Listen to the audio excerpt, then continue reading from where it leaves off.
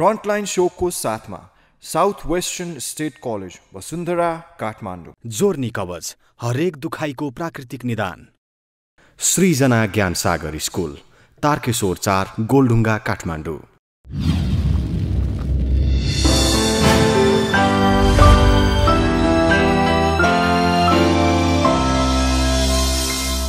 दर्शकबिन नमस्ते कार्यक्रम फ्रन्टलाइन सोमा यहाँहरूलाई हार्दिक स्वागत छ खास गरी यो कार्यक्रम जनप्रतिनिधिहरू उहाँहरूका अनुभव विचार र योजनाहरूलाई उजागर गर्दै आएको एउटा अन्तरङ्ग कार्यक्रम हो।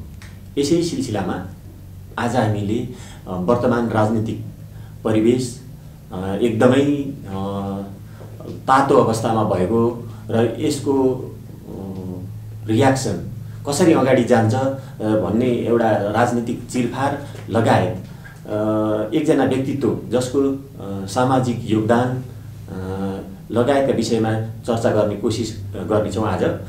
यसै सिलसिलामा आज हामीसँग एकजना नेपाली काङ्ग्रेसका केन्द्रीय सदस्य उहाँ पूर्व सञ्चार मन्त्री पनि हुनुहुन्छ र सिन्धुपाल्चोक क्षेत्र नम्बर दुईबाट भारी मतले जित हासिल गर्नुभई यो प्रतिनिधि सभाको सदस्य पनि हुनुहुन्छ मोहन बहादुर बस्नेत।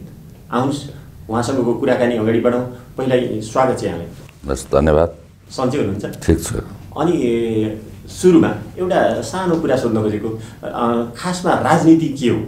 जसरी भनिन्छ नि अथोरिटीको आदेश नै कानुन हो भनेर होइन एउटा एउटा कम्पोनेन्ट।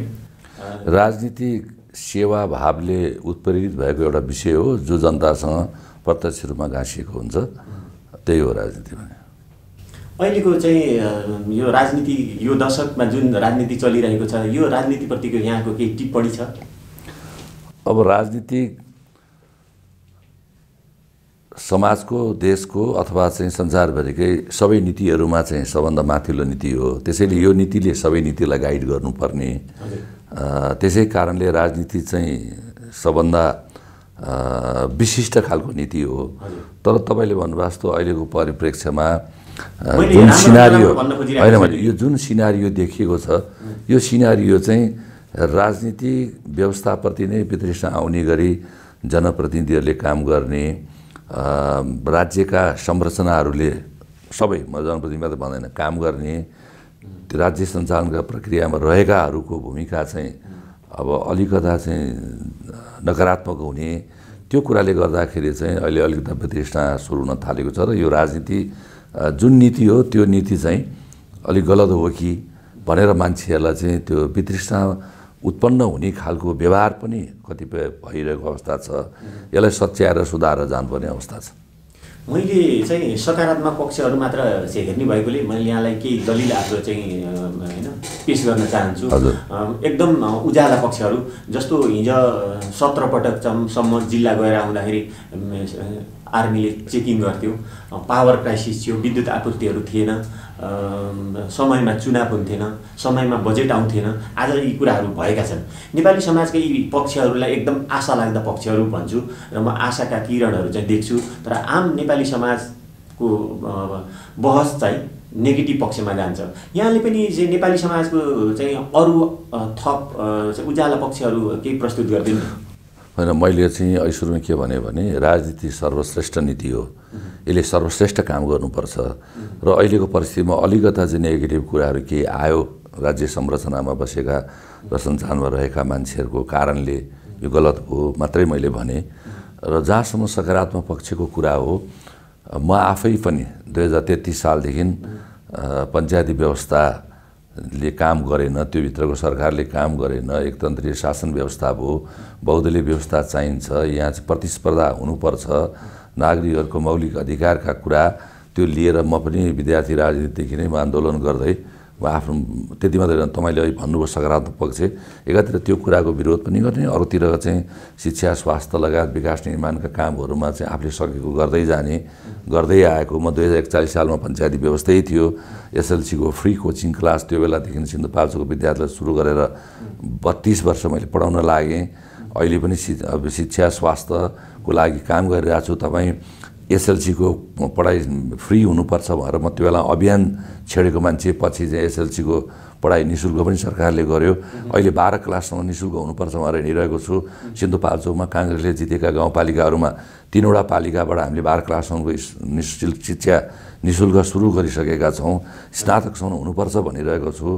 र अब अब धेरै परिवर्तनहरू बहुदलीय व्यवस्था पुनस्थापना पश्चात छयालिस सालभन्दा पछि थोरै हरेक राम्रा कामको पछाडि नराम्रा काम त केही आउँछन् आउँछन्। तर धेरै सकारात्मक काम के भएका छन् भने म आफैले मेरो जिल्ला घुम्दा करिब करिब थोरै हाइवेभन्दा बाहेक सबै ठाउँमा मैले हिँडेर सबै गाउँ घुम्थेँ। आज सबै गाउँमा मोटर बाटो लगभग लगभग पुगिसकेका छ मैले चुनाव जितेको क्षेत्रमा त मोटर बाटो नपुगेको कुनै टोलै छैन। र अर्को अहिले भर्खर मैले जितिरहेको ठाउँमा चाहिँ त्यहाँ चाहिँ केही त्यस्ता ठाउँ छन् जसलाई हामी चाँडै त्यो व्यवस्थापन पनि गर्छौँ। खानेपानीका विषयहरूमा धेरै प्रगति भएको छन्। शिक्षाको क्षेत्रमा ओडै पछि अहिले चाहिँ माध्यमिक विद्यालयहरू पुगिसके त्यो बेला ओडामा प्रावि पनि थिएन सबै ओडामा। त्यो स्थिति छ। र सञ्चारको क्षेत्रमा अहिले साउथ एसियन रिजनमै राम्रो फड्को मारेको छ नेपालले सञ्चारको क्षेत्रमा। अब स्वास्थ्यको क्षेत्रमा हरेक वडामा चाहिँ अहिले चाहिँ उपस्वास्थ्य चौकी वा स्वास्थ्य चौकी वा कतिपय ठाउँमा चाहिँ प्राथमिक स्वास्थ्य केन्द्र अहिले चाहिँ व्यापक रूपमा छ। एउटा एउटा वार्डमा बहुदलीय व्यवस्था आएपछि काङ्ग्रेसले नै त्यो अभियान बढी छेडेको हो। र एउटा वार्डमा दुईवटा दुईवटासम्म पनि स्वास्थ्य केन्द्रहरू अहिले भइसकेका छन्। अनि म म भन्दैछु त्यसपछि त्यो प्रक्रिया हिजो अडचालिस सालपछि सुरुवात भएको थियो। सुरुवात भएको प्रक्रिया एकैचोटि झ्याप्पै सक्ने स्थिति थिएन। त्यो अहिले चाहिँ क्रमशः काम हुँदै जाँदा अहिलेको अवस्थामा मैले भने जस्तो सबै ठाउँ प्राप्त भइसकेको छ होइन? त्यसपछि आएर तपाईँ सडकको कुरा गर्नुहुन्छ भने मैले अहिले भनिहालेँ गाउँ गाउँमा मोटर बाटोहरू पुगेका छन्। म पहिला एकचोटि स्विजरल्यान्ड गएको थिएँ। म स्वास्थ्य राज्य मन्त्री भने अन्ठाउन्न सालमा। स्विजरल्यान्ड गएको थिएँ माथिबाट बिहान एक घन्टा मैले प्लेनबाट हेरेँ स्विजरल्यान्ड होइन? हेरेँ हाम्रो जस्तै भूपरिवेशित देश। मैले मोटर नपुगेको घर देखिनँ माथिबाट हेर्दाखेरि त्यो भएपछि मैले चाहिँ विकास चाहिँ सडक सञ्जालै रहेछ सबभन्दा ठुलो भएर। मैले आफ्नो क्षेत्रमा यति धेरै मिहिनेत गरेँ सडक सञ्जालको लागि कि सबै गाउँमा मोटर बाटो नपुगी मेरो घरमा मोटर चढेर जान्न भनेर मैले चार सय मिटर जति बाटो चाहिँ मेरो घरमा हिँडेर जाने खालिरहेको थिएँ मैले। सबै ठाउँमा मोटर बाटो पुर्याएर मात्रै मैले मेरो घरमा जाने मोटर बाटो चाहिँ सुरु गरेँ। होइन? अहिले छ। धेरै सबभन्दा पछि हो मेरो क्षेत्रमा मेरो घरमा। किन म सक्थेँ? तर अरूको पुर्याउ अनि म गर्छु भनेर बसेको थिएँ मैले होइन? त्यो सडक सञ्जाल व्यापक रूपमा छ। त्यसपछि आएर चाहिँ तपाईँ अरू हरेक विकास निर्माणका दृष्टिकोणले हेर्नुहोस् होइन? सबै विकास भएको छ। तर यति हुँदा हुँदै पनि जस्तै सडक सञ्जाल हामीले सबै ठाउँमा पुर्यायौँ होइन? देशभरि केही ठाउँहरू बाँकी छन् केही दुर्गम जिल्लाहरूमा बाँकी छन्। अब जिल्लाको सदरमुकाम जोड्ने काम लगभग लगभग टुङ्गियाको अवस्था हो र पालिकाको सदरमुकाम जोड्ने वडा सदरमुकाम जोड्ने भन्ने छ जो लागिरहेछ सबै ठाउँमा कम्प्लिट भइसकेको छ नि त हुँदैछ। तर यसको सँगसँगै केही विकृतिहरू पनि आउँदो रहेछ है? त्यो विकृति जस्तै सडकमा जथाभावी डोजर चलाएको छ बाटो खनाएको छ इन्जिनियर पनि छैन अपरेटर र चाहिँ वडा अध्यक्ष हो कि त्यहाँको स्थानीय कार्यकर्ता बसिया छन् ठेलेका छन् बाटो त भयो सबै ठाउँमा। तर त्यो दीर्घकालीन सोचका साथ त्यो चाहिँ व्यवस्थित भएन। त्यहाँ पहिरो त्यसले बाढी निम्त्याउने पहिरो निम्त्याउने होइन भुछे भइरहने यस्ता खालका कुराहरू छन्। राम्रा कामका सँगसँगै नराम्रो काम पनि जोडेर जान्छन्। यस्ता कुराहरूलाई हामीले ध्यान दिनुपर्ने कुरा आफ्नो ठाउँमा छ। स्वास्थ्यको क्षेत्रमा अहिले शिक्षाको क्षेत्रमा भन्नुहुन्छ भने त्यो बेला कतिवटा युनिभर्सिटी हो एउटा त्रिभुवन युनिभर्सिटी मैले पढाए युनिभर्सिटी त्यति त थियो नि। अहिले कतिवटा युनिभर्सिटी भयो देशमा। अझ पुगेको छैन बेग्लै कुरा हो होइन? त्यसपछि हस्पिटलहरू हेर्नुहोस्। के थिए हिजो आज कति पुगे? मैले भने फेरि दोहोऱ्याउनु चाहेँ बाटाघाटा हिजो के अवस्था थियो? अहिले कहाँ पुग्यो? त्यसैले अहिले यो बहुदलीय व्यवस्था पुनर्स्थापना पश्चात र त्यसपछि आएर चाहिँ तपाईँले भन्नुभएको जस्तो देशमा चाहिँ सङ्घीयता आए पश्चात अधिकारको विकेन्द्रीकरण जुन ढङ्गले भयो र अहिले पालिकाहरूलाई कस्तो बलियो बनाएको छ वडाहरूलाई कस्तो बलियो बनाएको छ अहिले चाहिँ एउटा सामान्य स्थानीय कानुनी रूपमा चाहिँ कारवाही गर्ने र चाहिँ न्याय दिने काम वडाले नै गर्छ। पालिकामा कत्रो अधिकार छ। होइन? त्यसैले अधिकारको चाहिँ विकेन्द्रीकरण हुँदै हुँदै हुँदै गएर अहिले गाउँका चाहिँ सबै निकायहरू तल्लो लेभलमा पनि बलियो भएर चाहिँ अब जिल्ला सदरमुकाममा पुग्नु नपर्ने। होइन? प्रतिनिधि सभा स्तरमा हुने वा पालिका स्तरमा हुने वा वडा स्तरमा हुने। त्यसले सरकारको जुन अहिले चाहिँ स्थानीय प्रदेश र सङ्घ को कुरा छ यो निकायले गर्दाखेरि चाहिँ अहिले धेरै सहिलो पनि भएको छ। तर अलिअलि चाहिँ केही विकृतिहरू आएका छन् त्यसलाई सच्याएर जानु पऱ्यो नि। सबै काम नीतिगत रूपमा राम्रो बनाउँदैनमा कार्यान्वयन सबै राम्रो हुन्छ भन्ने छैन। त्यसलाई त त्यसलाई त अक्षर पालना गर्नु पऱ्यो हामी नै संविधान जसरी बनायौँ त्यही संविधानको मर्यादाभित्र रहेर हामी यसले नै काम गरेका छैनौँ कि। दलहरू अहिले त्यसरी अलिअलि भाडिया छन् कि। त्यस कारणले नीति गतिलो हुँदैमा काम रिजल्ट राम्रो आउँछ भन्ने छैन। जहाँ जहाँ गल्ती भयो त्यसलाई सुधारेर गएको अवस्थामा अहिले हामीले बनाएको संविधान कति समावेशी छ? होइन? तपाईँ अहिले पार्लियामेन्टमा उपस्थिति हेर्नुहोस्। मरिमेटेर जिन्दगीभरि लडेर चाहिँ एकदमै काम गरेर आएका मान्छेहरू पनि प्रतिनिधित्व छ। त्यहाँ विभिन्न क्लस्टरको नाउँमा भर्खर भर्खर राजनीतिमा लागेका मान्छेहरूको पनि उपस्थित छ। सांसद बराबरै हुन्। उहाँहरू मन्त्री हुनुभएको छ त्यो पनि बराबरै हो। विभिन्न आयोगहरू बनिएका छन्। होइन? त्यस कारणले गर्दाखेरि चाहिँ सबैको भावनाको प्रतिनिधित्व हुने गरी र सबैलाई समेट्ने गरी संविधान हामीले बनाएको छौँ संविधान समावेश संविधान। यसलाई चाहिँ राम्रोसँग कार्यान्वयन गर्दै जाने हो भनेदेखि चाहिँ अहिलेको संविधान पनि उत्कृष्ट छ। अहिले हामीले संसारभरि हेरेको संविधान मध्येमा भएमध्ये हाम्रो पनि कम छैन है। त्यस कारणले गर्दाखेरि कार्यान्वयन पक्ष बलियो हुँदै गयो भने चाहिँ चाहे बहुदलीय व्यवस्था पुनर्स्थापना पश्चात होस् चाहे अहिले मुलुक सङ्घीयतामा गएको अवस्था पछिको अवस्थाहरू होस् अहिले विकासले उन्नति प्रगतिले मुलुकमा धेरै फड्को मारेको स्थित छ अब जुन आम धार अगाडि बढिरहेको छ कम्युनिकेसनको त्यसमा अलिक पृथक रहेर हामीले उज्याला पक्षहरूको कुरा गरिरहेको छौँ र अहिले तत्कालीन गरमाएको राजनीति छ। जहाँ हामीलाई इतिहासले एउटा यस्तो मोडमा ल्याइदिएको छ घटनाक्रमले र त्यसका पनि त सकारात्मक पक्षहरू होलान्। होइन? त्यसलाई मैले आलङ्कारिक रूपमा भन्यो भने एउटा चाहिँ अहिले राष्ट्रपतिको एउटा मेला लागेको छ अनि धेरैहरूले धेरैले चाहिँ पसल थापिरहेको छ होइन? यो मेलामा पसल थापेको जुन दृश्य छ यो यसले पनि त राम्रो पक्षहरू होला। यो घटनाक्रमले हामीलाई जहाँ ल्याइदिएको छ। यसमा अलिकति प्रकाश पार्दैन यसमा दुईवटा दृष्टिकोणले हेर्नुपर्छ भन्ने मलाई लाग्छ। एउटा यो धेरै पसल थाप्ने कुरा चाहिँ आवश्यक थिएन। यो कुरा परिस्थितिले आवश्यक बनाउँदै पनि ल्यायो एउटा चाहिँ। र अर्को कुरा चाहिँ नेपालको संविधानले वा हाम्रो संविधानले महामहिम राष्ट्रपतिज्यूलाई आलङ्कारिक बनाएको छ।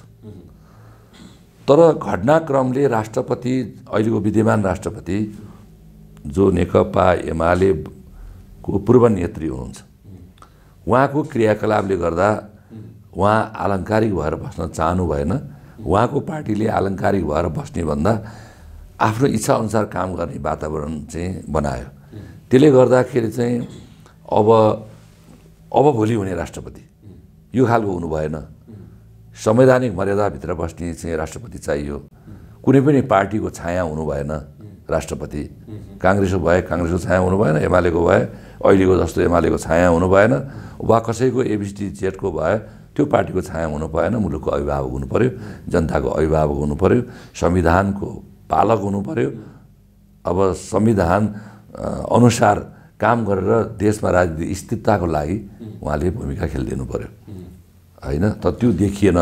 विभिन्न किसिमको चाहिँ यो चाहिँ चाहे अध्यादेशको कुरा भन्नुहोस् चाहे चाहिँ अरू विधेयकका कुराहरू भन्नुहोस् चाहे धेरै कुराहरू भन्नुहोस् उहाँको भूमिका चाहिँ एमालेको छायाको रूपमा देखियो। त्यस कारणले गर्दा त्यो छाया हुने खालको कुनै पार्टीको दलको छाया हुने खालको मान्छे हुनु भएन भनेर पनि यहाँ बढी यो चाहिँ यो चलखेल हुन थाल्यो होइन? पाइन्छ भने यस्तो एउटा यो यस्तो क्रियाशील पद रहेछ। हामीले आलङ्कारिक भन्दा भन्दै।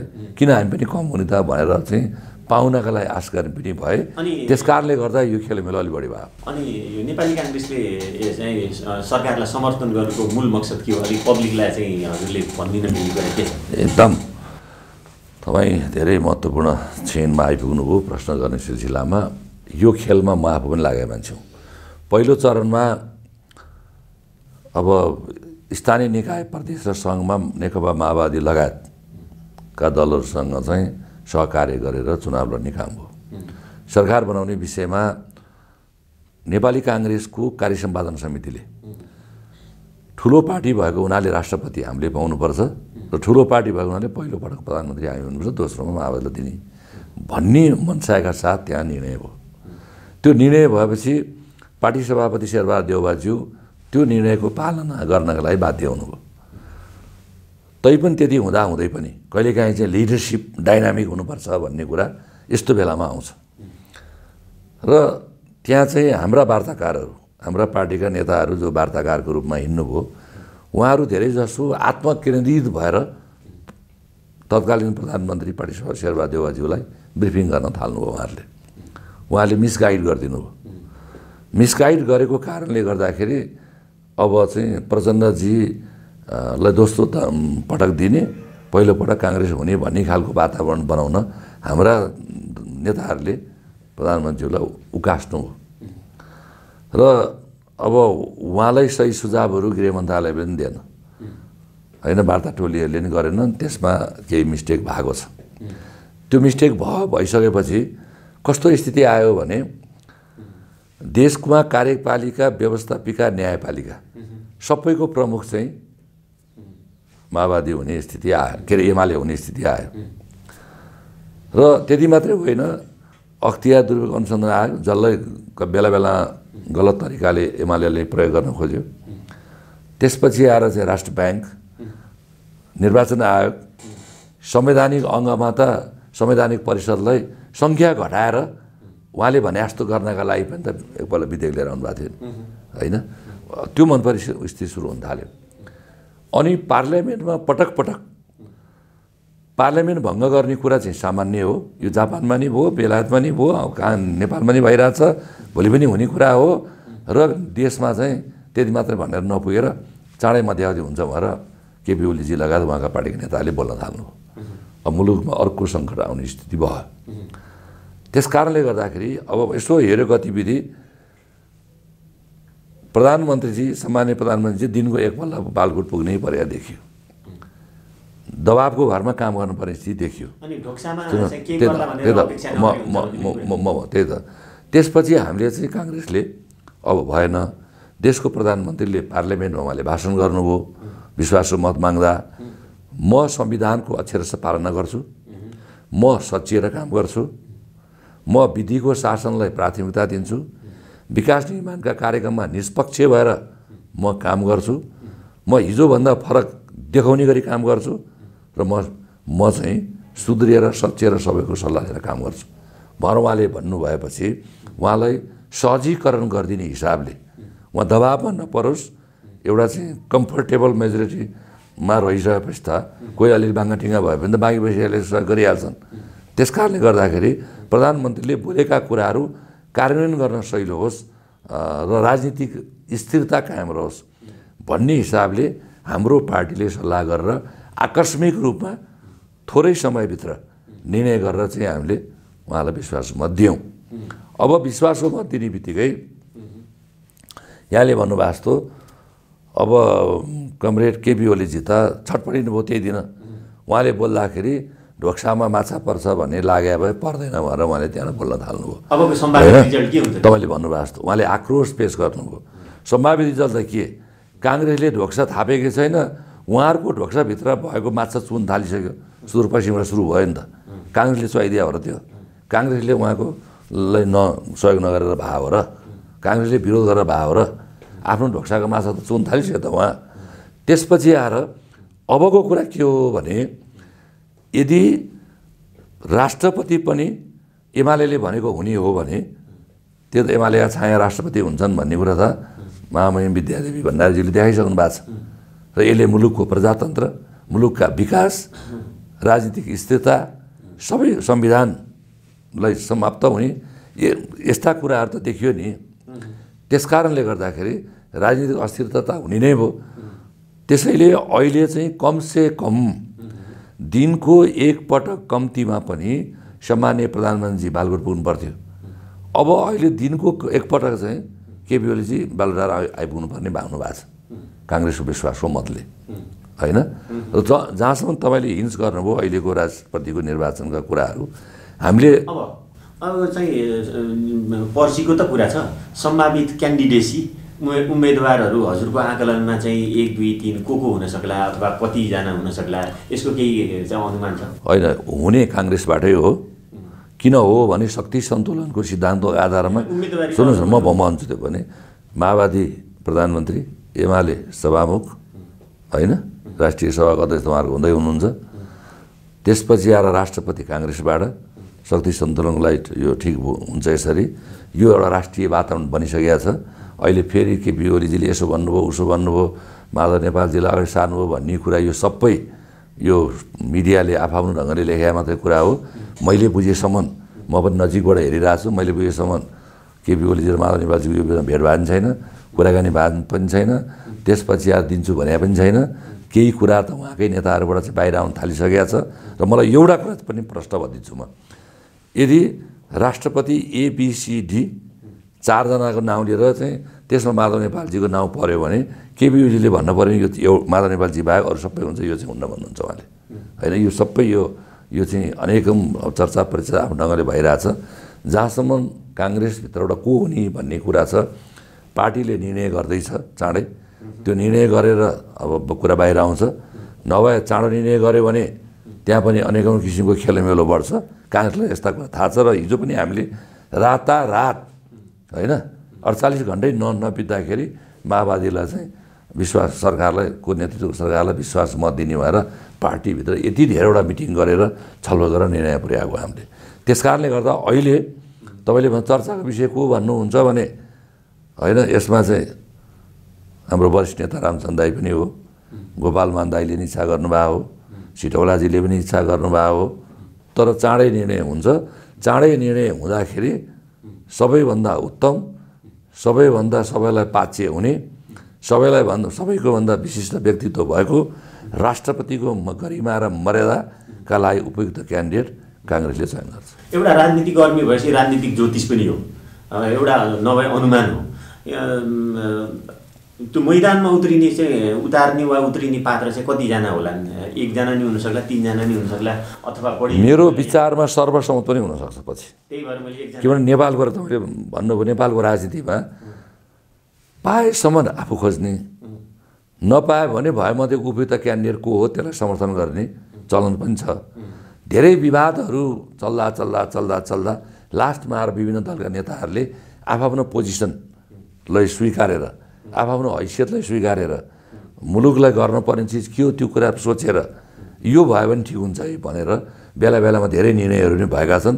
यो पटक पनि मेरो विचारमा काङ्ग्रेसले उम्मेदवार दिइसकेपछि अरूको उम्मेदवार नपर्न सक्ने अवस्था नै हुन्छ। यसमा हाम्रो सभापतिज्यूले पनि व्यापक रूपमा छलफल गर्नुभएको छ। केपी ओलीजीले पनि अब चाहिँ आफ्नो उम्मेदवार नै हुनुपर्छ भन्ने जुन लाइनबाट अलिकति नरम हुँदै आउनु भएको अवस्था पनि हो।